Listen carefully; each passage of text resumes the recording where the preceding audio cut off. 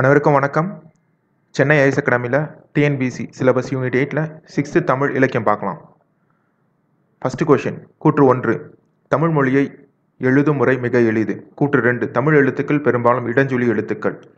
கூற்று ஒன்று சரியாக கொடுத்துருக்காங்க. கூற்று ரெண்டில் இடஞ்சொலிங்கிறது தவறுதலாக கொடுத்துருக்காங்க. தமிழ் எழுத்துக்கள் பெரும்பாலும் வளஞ்சொலியாக எழுதுகிறாங்க அப்போது ஆப்ஷன் சி தான் இது கரெக்டான ஆன்சர் அடுத்த கேள்வி காட் கற்றாழை இலையின் இளமை பெயர். மடல். தான் கரெக்டான ஆன்சர் ஆனால் புல்லுங்கிறது பார்த்தீங்கன்னாக்கா அருகம் கோரங்கோட இலையை வந்து புல்லுன்னு சொல்கிறோம் ஓலை பார்த்தீங்கன்னாக்கா தென்னை ஓலை பனை ஓலை சொல்கிறோம் கமுக்கத்தோட இலையை வந்து கூந்தல் சொல்கிறோம் அடுத்த கேள்வி. போகி திருநாள் கொண்டாடப்படும் நாள். பார்த்தீங்கன்னாக்கா போகி திருநாள் வந்து மார்கழி கடைசி நாள் கொண்டாடுறாங்க. இது வந்து தற்காலத்தில் வந்து போகி பண்டிகை கொண்டாடிட்டு வராங்க. சங்க காலத்தில் பார்த்தீங்கன்னாக்கா போகி பண்டிகை வந்து இந்திர விழா கொண்டாடிட்டு வந்தாங்க.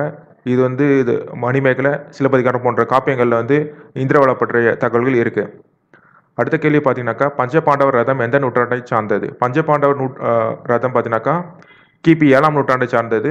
இதை வந்து பஞ்சபாண்டவர் ரதத்தை இயற்றியவர் பார்த்தீங்கன்னாக்கா மாமல்லன் போற்றப்படக்கூடிய நரசிம்மவர்மன் தான் இதை உருவாக்கினார். அடுத்த கேள்வி பார்த்தீங்கன்னாக்கா பொறுத்துக.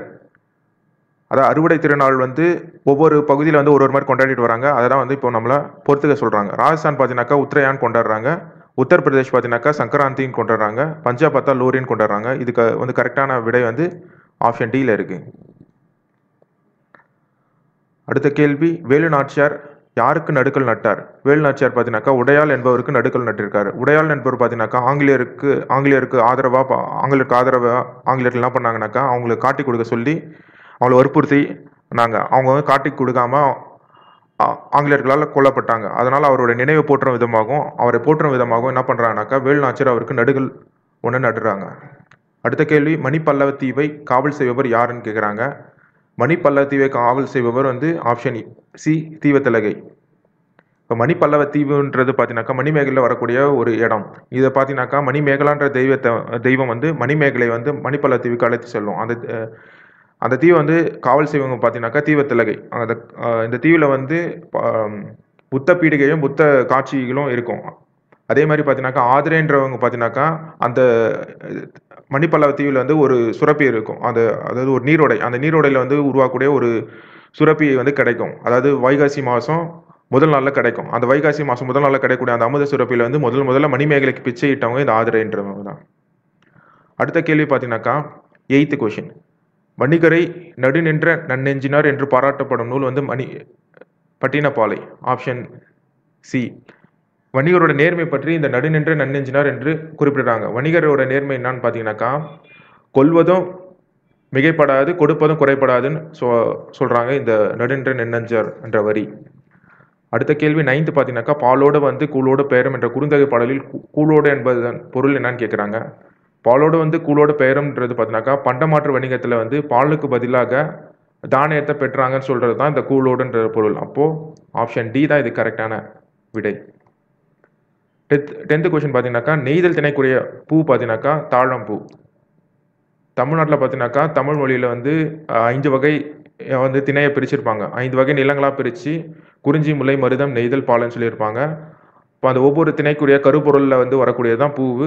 அதில் வந்து நெய்தலுக்கு வந்து தாழம்பூ குறிஞ்சி பார்த்தீங்கன்னாக்கா காந்தல் முல்லைக்கு வந்து தோன்றி மருதம் பார்த்தா செங்கழு நீர் நெய்தல் வந்து நெய்தல் தாழம் சொல்கிறாங்க பாலை பார்த்தீங்கன்னாக்கா பாதம் பரவி போன்ற பூவை சொல்கிறாங்க அதே அதே மாதிரி அடுத்த கேள்வி வந்து பதினேழு கீழ்கணக்கு நூல்களுள் ஒன்றான ஆசரக்கோவை எத்தனை வெண்பாக்களை கொண்டதுன்னு கேட்டிருக்காங்க. பதினேழு கீழ்கணக்கில் வரக்கூடிய இந்த ஆப்ஷனில் பார்த்தீங்கன்னாக்கா நூறும் தொண்ணூற்றி ஏழு மட்டும்தான் பார்த்தீங்கன்னாக்கா இந்த பதினேழு கீழ் கணக்கு நூலில் வரக்கூடிய நூல்கூட எண்ணிக்கை. அதில் நூறுன்றது தான் கரெக்டான விடை. ஆசரக்கோவில் உள்ள வெண்பாக்கள் எண்ணிக்கை நூறு. தொண்ணூற்றி ஏழு பார்த்தீங்கன்னாக்கா சிறு பஞ்ச மூலத்தில் வரக்கூடிய வெண்பாக்களோட எண்ணிக்கை தொண்ணூற்றி ஏழு அடுத்த கேள்வி. பின்வரும் கூற்றுகளை கவனிக்கவும். கூற்று ஏ. இன்னா செய்தாரை ஒருத்தல் அவர் நாணம் நன்னயம் செய்து விடல். கூற்று ஆர் நமக்கு துன்பம் செய்தவர் நாணும்படி அவருக்கு தீமை செய்வது அவரை தண்டிக்கும் வழியாகும். கூற்று ஏ கூறினதுக்கான சரியான விளக்கமாக வந்து கூற்று ஆறு இல்லை. ஏன்னாக்கா நமக்கு துன்பம் செய்தவர் நானும்படி அவருக்கு நன்மை செய்வதுதான் அவரை தண்டிக்கும் வழியாகும் சொல்கிறது தான் வந்து கூற்று ஏக்கான சரியான விளக்கம். ஆனால் தீமைன்னு கொடுத்துருக்காங்க. அப்போது கூற்று ஏ சரி கூற்று ஆறு தவறு. ஆப்ஷன் சி தான் இது கரெக்டான விடை. பதிமூணாவது கேள்வி நம் முகம் மாறினால் விருந்தினர் உள்ளம் வாடிவிடும். என விருந்தோம்பலின் பண்பை எடுத்துரைக்கும் குரட்பா? எதுன்னு கேட்டிருக்காங்க? இல்லை ஆப்ஷன் டி தான் இது கரெக்டான விடை. நோக்கக்குழையும் விருந்து. பதினாலு. திராவிட நாட்டின் வானம்பாடி என்று பாராட்ட பெற்றவர் யார்? திரா திராவிட நாட்டின் வானம்பாடி என்று பாராட்டப்பட்டவர் முடியரசன். இவருடைய இயற்பெயர் துரைராசு. அதே மாதிரி வாணிதாசனை தமிழ்நாட்டின் வேர்ட்ஸ்வர்த்துன்னு சொல்கிறாங்க பாவலரேருன்னு போ போட்டுறாங்க. சுரதா வந்து ஓமை கவிஞர் என்று அழைக்கப்படுகிறார். கண்ணதாசன் கவி பேரரசன் அழைக்கிறாங்க. பதினஞ்சு. பண்பாடு என்ற சொல்லை தமிழில் முதல் முதலில் அறிமுகப்படுத்தியவர் யார்?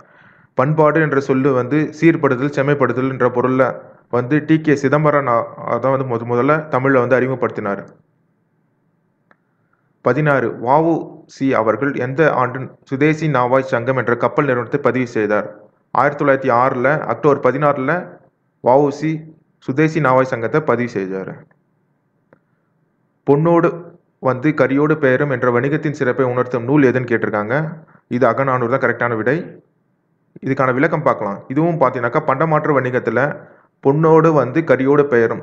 பொண்ணை கொண்டு வந்துட்டு கரிங்கிறது மிளகை சொல்கிறோம் மிளகை வாங்கிட்டு போனாங்கன்ற கருத்தை தான் இந்த வரி நமக்கு உணர்த்துது. பதினெட்டு பார்த்தீங்கன்னாக்கா பொன் செம்பு ஆகிய உலோகங்கள் மீது பொறிக்கப்படுகின்ற எழுத்துக்கள் பார்த்தினாக்கா பட்டயங்கள்.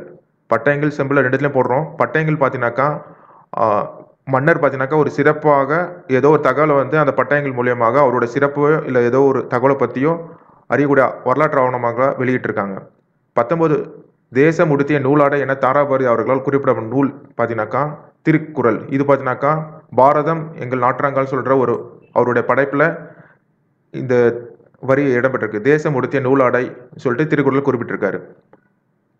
இருபது புதிய விடியல்கள் இது எங்கள் கிழக்கு முதல நூல்களை இயற்றிய தாராபாரதியின் இயற்பெயர். தாராபாரதி அவர்களுடைய இயற்பெயர் வந்து ராதாகிருஷ்ணன். சி தான் இது கரெக்டான ஆன்சர் ஆனால் இங்கே இருக்கக்கூடிய மூணு ஆப்ஷனுக்குமே பார்த்தீங்கன்னாக்கா தமிழ் எழுத்தாளரோட இயற்பெயர் தான். எஸ் பழனிசாமி பார்த்தீங்கன்னாக்கா சி மணியோட இயற்பெயர். ஜெகதீசன் பார்த்தீங்கன்னாக்கா ஈரோடு தமிழ் என்பனோட இயற்பெயர். சுந்தர ராமசாமி பார்த்தீங்கன்னாக்கா பசுவையாவோட இயற்பெயர். இருபத்தி ஒன்று பொறுத்துக. நிலம் தீ நீர் வி விசும்போடு ஐந்தும் கலந்த மயக்கம் உலகம் ஆதலின் சொல்கிற நூல் பார்த்தீங்கன்னாக்கா தொல்காப்பியம். தொல்காப்பியம். அடுத்து பார்த்தீங்கன்னாக்கா கடல் நீர் முகந்த கமல் சூழ் எழிலின்னு சொல்லிட்டு கார் நாற்பது சொல்லுது நெடு வெள்ளோசி நெடு வாசி பரந்த வெடுன்னு சொல்லிட்டு பதிற்றுப்பத்து சொல்லுது அப்போ பார்க்கும்போதே நமக்கு தெரியுது டி தான் ஆப்ஷன் கரெக்டு இது கடைசி ஆப்ஷன் கோட் சுறா எரிந்தன சுருங்கிய நரம்பின் முடிமுதிர் பரதவன் சொல்லிட்டு நற்றினையில சொல்லியிருக்காங்க. இருபத்தி ரெண்டு கேள்வி பார்த்தீங்கன்னாக்கா ரெண்டாயிரம் ஆண்டுகளாக வழக்கில் இருக்கும் சில தமிழ் சொற்களை பொறுத்துக. வேளாண்மை பார்த்தீங்கன்னாக்கா திருக்குறளில் ஃபர்ஸ்ட் ஃபர்ஸ்ட் இடம் பெற்றிருக்கு. உழவர் பார்த்தீங்கன்னாக்கா நற்றினையில இடம் பெற்றிருக்கு. மருந்து பார்த்தீங்கன்னாக்கா அகநானூரில் இருக்கு. மீன் பார்த்தீங்கன்னாக்கா குறுந்தொகையில். மகிழ்ச்சி பார்த்தீங்கன்னா தொல்காப்பியத்தில் இருக்கு. அப்போ ஆப்ஷன் பார்த்தீங்கன்னாக்கா ஆப்ஷன் பி தான் இது கரெக்டான ஆன்சர் இருபத்தி மூணு. பொறாமை பேராசை சினம் கடுஞ்சொல் பேசுதல் ஆகிய நான்கும் இல்லாமல் வாழ்வதே அறம் என்று உரைக்கும் திருக்குறள் பார்த்தீங்கன்னாக்கா ஆப்ஷன் ஏல இருக்கக்கூடிய அழுக்காறு அவா வெகுலி இன்னா சொல். ஆப்ஷன் ஏவே கரெக்டான விடை இதுக்கு இருபத்தி நாலு பார்த்தீங்கன்னாக்கா பிற உயிர்களில் டேஷை கண்டு வருந்துவது அறிவின் பயனாகும் என்று வள்ளுவர் கூறுகிறார். பிறர் உயிரின் துன்பத்தை கண்டு வருந்துவது அறிவின் பயனாகும் என்று வள்ளுவர் கூறுகிறார். துன்பத்தை சீன்ற ஆப்ஷன் கரெக்ட் ஆனாக்கா இந்த குறளோட விளக்கம் பார்த்தீங்கன்னாக்கா பிறர் உயிரின் துன்பத்தை கண்டு வருந்துவது அறிவின் பயன். பிறர் உயிரின் துன்பத்தை கண்டு வருந்தாமல் இருப்பது அறிவு பெற்றும் வந்து பார்த்தீங்கன்னாக்கா பயன் இல்லைன்னு சொல்லிட்டு திருவள்ளுவர் திருக்குறளில் குறிப்பிடுகிறார். இருபத்தி அஞ்சு பார்த்தீங்கன்னா ஊக்கமது கைவிடல் என்பது ஔவையாரின் ஆத்திச்சுடி. இவ்வரியோடு தொடர்புடைய திருக்குறள் தேர்ந்தெடுத்துக்க. ஊக்கமது பார்த்தீங்கன்னாக்கா உள்ள கிளர்ச்சி. கைவிடல் பார்த்தீங்கன்னாக்கா தளர்ந்து போகாமல் இருக்கிறது. ஒரு செயலால் அவருக்கு ஏற்பட்ட ஊக்கத்தை வந்து தளர்ந்து போகாமல் செய்யறது தான் இந்த ஔவையாரோட ஆத்திச்சூடியோட பொருள். ஆனால் இதே மாதிரி இருக்கக்கூடிய திருக்குறள் எதுன்னு பார்த்தீங்கன்னாக்கா உள்ளம் உடைமை உடைமை பொருள் உடைமை நில்லாது நீங்கிவிடும். இது சொல்லக்கூடிய கருத்து என்னன்னாக்கா ஊக்கத்தை பற்றியான கருத்தை தான் இங்கே ரெண்டு பேருமே சொல்லியிருக்காங்க. இருபத்தி ஆறு பார்த்தீங்கன்னாக்கா முப்பத்தாறு பாடல் கொண்ட மூதுரை நூலை இயற்றியவர் ஔவையார். மூதுரைனாவே ஔவையார். ஔவையார்லேயே பார்த்தீங்கன்னாக்கா சங்ககால ஔவையார் அப்புறமா ஒட்டக்கூத்தர் கம்பர் போன்ற காலத்தில் சமகாலத்தில் வாழ்ந்த ஔவையார் அப்புறமா புராண கால ஔவையார் சொல்லிட்டு ஒரு நாலு நாலு ஔவையார் தமிழ் இலக்கிய வரலாறுல சொல்லியிருக்காங்க. இந்த எழுதிய மூதுரை ஏற்றிய ஔவையார் பார்த்தீங்கன்னாக்கா ஒட்டக்கூத்தர் கம்பர் போன்ற குமரகுருவர் போன்ற காலத்தில் வாழ்ந்த சமகாலத்தவர்னு நம்ம தெரிஞ்சுக்கணும்.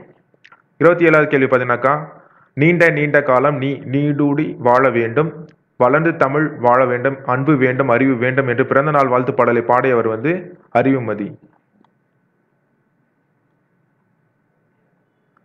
இருபத்தி எட்டு பார்த்தீங்கன்னாக்கா ஏரியால் சுடப்படினும் உய்வுண்டாம் உய்வில்லை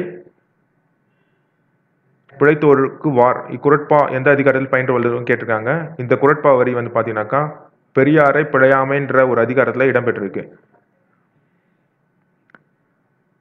இருபத்தி ஒன்பது உள்ளத்தால் உள்ளலும் தீது பிறர் பொருளை கல்லாது கல்வோம் எனில் அப்படின்ற இது கல்லாமைன்ற ஒரு அதிகாரத்தில் இடம்பெற்ற ஒரு குரல். இதோட பொருள் பார்த்தீங்கன்னாக்கா அடுத்த ஒரு பொருளை களவாடலாம் என உள்ளத்தால் நினைப்பது கூட தீமையானது. சி தான் இது கரெக்டான விடை. கொஷின் முப்பது பார்த்தீங்கன்னாக்கா கொய்யா கனி பாவை கொத்து மற்றும் நூறாசிரியம் முதல் நூல்களை இயற்றியவர் பெருஞ்சித்தினார். இவருடைய இயற்பெயர் துரைமாணிக்கம் இவர் தமிழ் நிலம் தமிழ் சிட்டு போன்ற இதழ்களை நடத்தியவர். ஓகேங்க நன்றி.